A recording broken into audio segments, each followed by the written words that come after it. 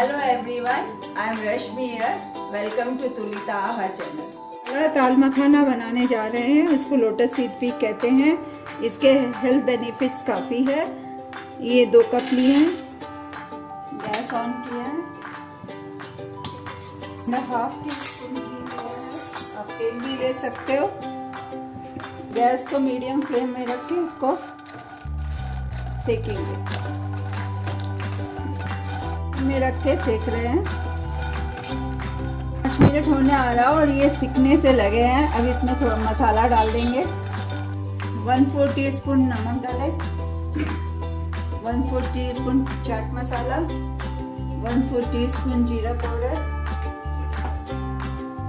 थोड़ी सी काली मिर्च। वन फोर टी स्पून करीबन आप अपने हिसाब के हिसाब से ज़्यादा कम कर सकते हैं।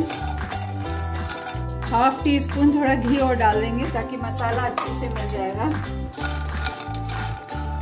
मसाला अच्छे से मिल गया, ये मैंने ब्रेक करके दिखाया है ये अच्छे से सीख गया है। 10 मिनट मैक्सिमम लगता है। अब गैस ऑफ़ कर दे रही हूँ। चटपटे मखाने तैयार है।